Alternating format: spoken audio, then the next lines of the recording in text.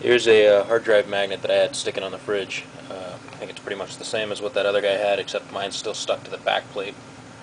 Uh, this black thing is a MagnaProbe for uh, dimensions.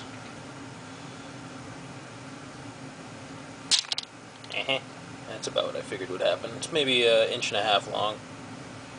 Uh, the magnet itself by maybe a half inch wide.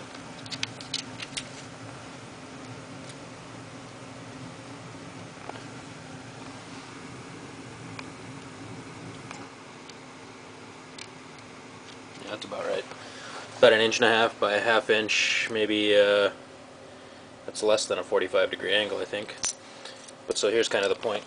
If we uh, take this and put this down level, now you can see the field. This kind of shows you the field, so you can see there's blue down, which indica indicates a north on this side, and it flips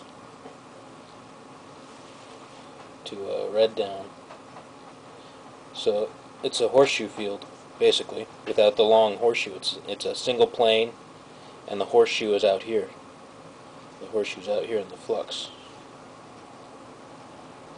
You see that goes a little ways above the magnet. I don't have very good lighting, so let's see.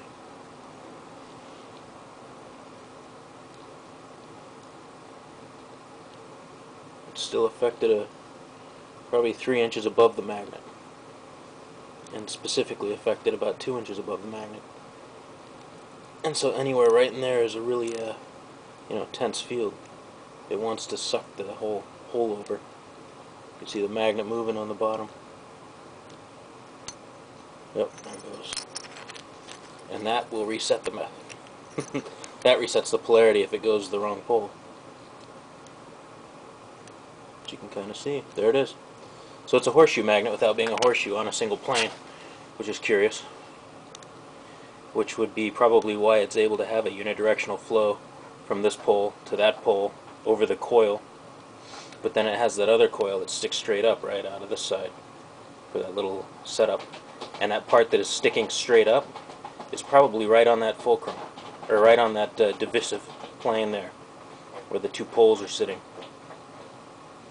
So that might be helpful, Luther, for you to build that bad boy and see if it actually does what it's thinking.